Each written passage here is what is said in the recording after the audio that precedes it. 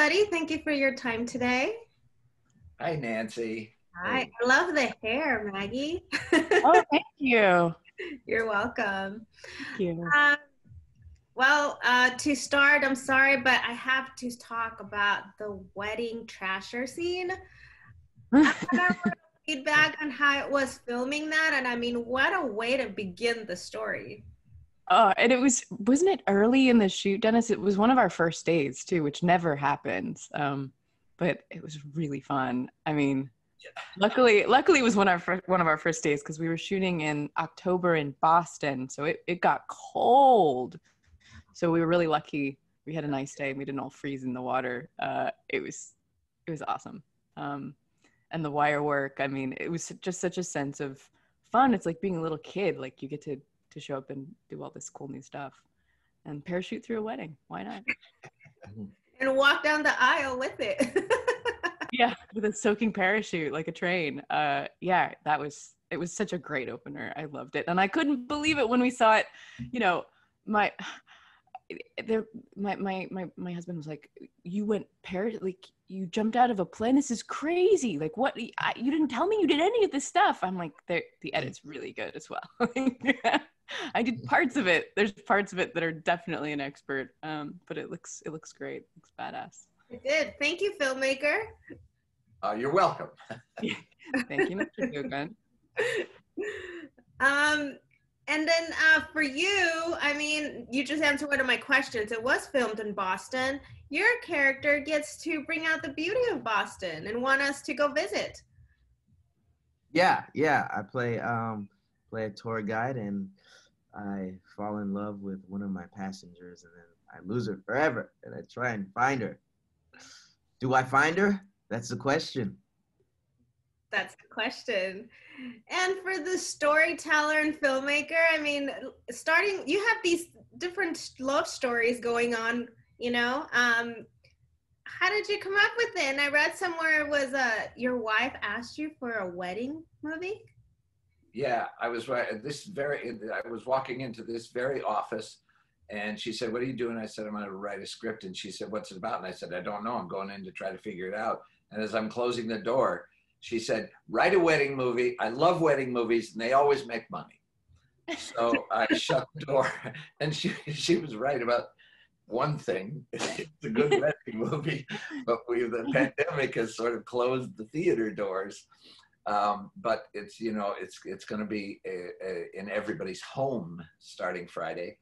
Um, so yeah, I just, I, I, I'm a, I'm a big romantic uh, guy. I love romance, and uh, I thought uh, not to do. I didn't want to do the wedding movies that have already been done, The Wedding Planner, and all of those other things. So I thought I'd do what what everybody who works on a wedding works for the perfect day, for the perfect couple, for the perfect fantasy romance, and meanwhile, all of their romances and loves are chaotic and crazy and heartbreaking. But you took on a full challenge. I mean, you have these stories going on at the same time, and we're just kind of waiting, like, wait, how, how do these connect? And it was a, a beautifully done. Oh, thank you. Thank you very much. Not only that, but you actually covered what a lot of films are missing, um, you know, visually impaired.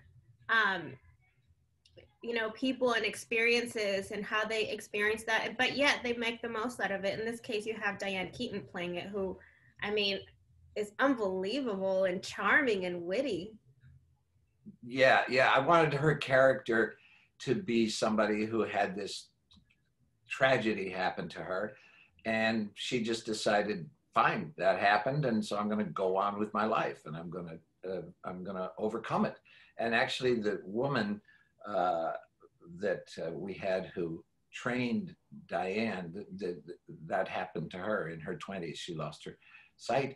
And wow. she said, she said, when, it, when, you, when you told me this story, she said, that's me. I just said, to hell with it. I'm living my life. And she does.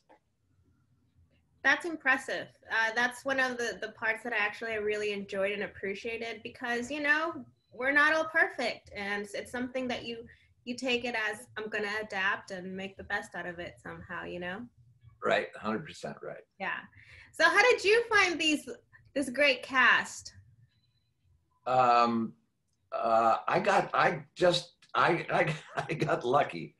I just got lucky. I, they, they said, "Hey, Maggie Grace is one is interested in doing it." So we got on the telephone and we talked for four minutes. And I said, "You're, I can't wait for you to do this." She's the smartest person in the room right now.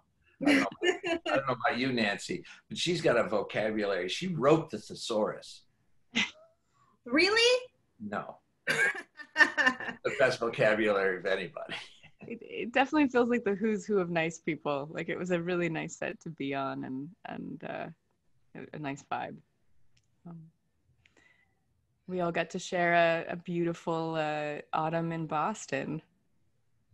Yes. Well, thanks to you, we're gonna have to go back. I had I was lucky to go earlier this year, so um, it is a beautiful a beautiful city. It is. All Yeah, right. it's almost, it's almost like a character in the movie. Mm.